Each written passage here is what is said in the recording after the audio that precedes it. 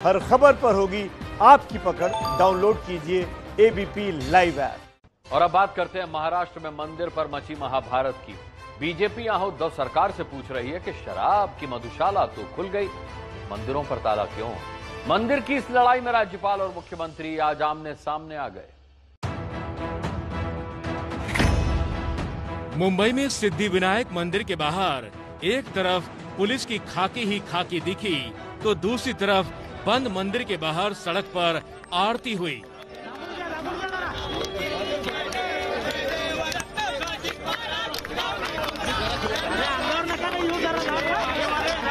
महाराष्ट्र के ही जलगांव में तो मंदिर के बाहर ही बीजेपी कार्यकर्ता भक्ति गीत गाने लगे।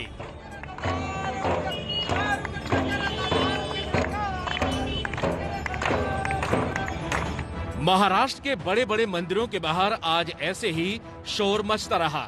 यहाँ विपक्ष में बैठी बीजेपी की मांग है कि जब महाराष्ट्र में बार और रेस्तरा खोल सकते हैं तो मंदिर बंद क्यों है? पण मंदिर बंद करून काय सगळं सिद्ध होणार आहे का?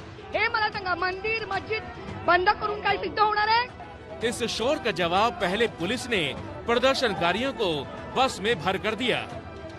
मंदिर शुरू करने के मुद्दे पे महाराष्ट्र में जगह जगह पर अंशल चल रहा है। हम अभी शिरडी में है। शिरडी में सब साधु महंत यहाँ पे बैठे हुए हैं। भाजपा आध्यात्मिक आघाड़ी के प्रदेश अध्यक्ष तुषार भोसले। हमने मुख्यमंत्री जी को बार बार पत्र लिखा।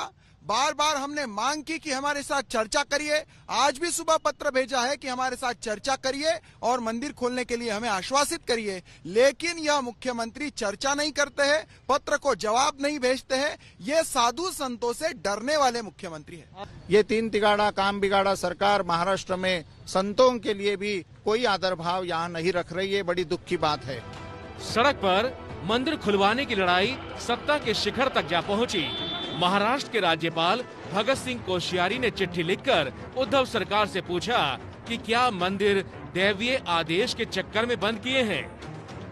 मुझे हैरानी है कि उद्धव धर्म स्थलों को खोलना क्यों टाल रहे हैं? कोई दैवीय आदेश आपको मिला है? या फिर आप अचानक सेक्युलर हो गए हैं? जिस शब्द से तो आपको नफरत थी। निशाना तेज तर्रार था तो सीएम उद्धव ठाकरे का जवाब भी करारा आया। एक तो कहा, हिंदुत्व पर आपका सर्टिफिकेट नहीं चाहिए, और दूसरी बात में, कंगना रनौत के पीओके वाले बयान की राज्यपाल कोश्यारी को याद दिला दी। जैसे हम लोगों पर अचानक लॉकडाउन लगाना ठीक नहीं था, वैसे ही इसे एक बार में हटाना ठीक नहीं है। और हाँ मैं हिंदुत्व को मानता हूँ, मुझे हिंदुत्व के लिए आपसे सर्टिफिकेट नहीं चाहिए। मेरे राज्य को, राज्य की राजधानी को पीओ के कहने वालों का आपने गर्म जोशी से स्वागत किया था। क्या ये हिंदुत्व में बैठता है? मंदिर विवाद में खुद की बातों का ज़िक्र हुआ तो कंगना रनौत भी बयान देने के लिए सामने आ गई। ट्विटर पर उद्धव ठाकरे को पहले की तरह बाबर सेना लिख दिया और फिर आज नया नाम दिया गुंडा सरकार। सेना ने कभी न हिंदुत्व को नकारा है ना हिंदुत्व को भूला है शिवसेना और न हिंदुत्व को भूलेगी। मंदिर के बारे में बहुत से डेलीगेशन मुख्यमंत्री साहब को मिल रहे हैं। यहाँ आपको जानकारी दे दें कि महाराष्ट्र में मंदिर समेत दूसरे धार्मिक स्थल कोरोना की वजह से बंद हैं। 25 मार्च से लॉकडाउन के बाद करीब दो महीने पहले 5 अगस्त को महाराष्ट्र में मॉल खोल दिए गए।